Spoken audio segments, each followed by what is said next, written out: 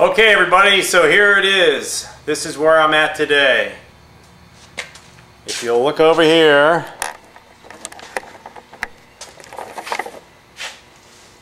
I've got the cowl on the Seagrave, but it's too high. This is made for a fire truck, remember. So uh, if we walk over here,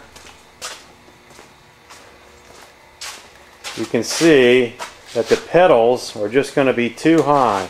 So if I cut it right here at that line right there, and then I take out this section in here, maybe even up to there, which is seven inches, that'll lower the whole cowl down, and then it'll come and fit my radiator up here. I cut this other piece of uh, masonite out to represent the radiator, but as you see, it's really just the size of the cowl, so it's too high.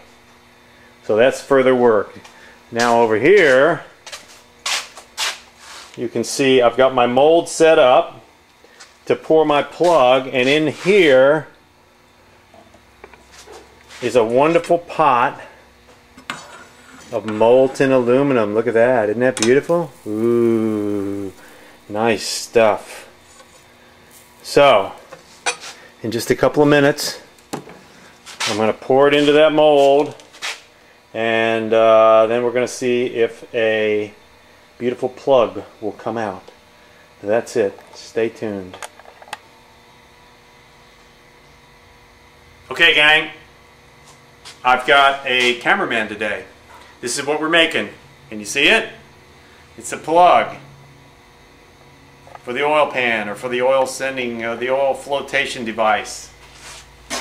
Now, here's what's going to happen. You ready? I've got my protective gear on. Don't try this at home.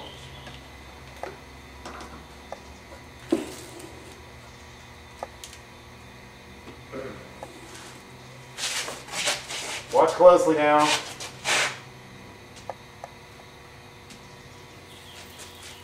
That's it.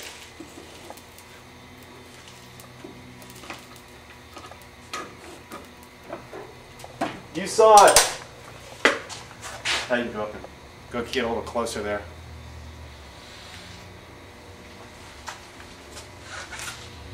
I don't know how long it's going to take to cool.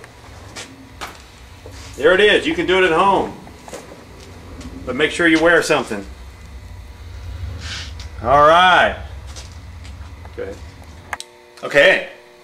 And now we're going to open it up. Oh, I forgot. We went and ate lunch. We're going to open it up and see what's in there. Hey, uh, there's a big void in there. Look at that. Eh. Let's see about the rest of it, though. The only problem is I'm going to have to break this. I'm going to have to break it. I'm going to have to break the mold. Are you ready? I think it's already broken. Look. And there it is.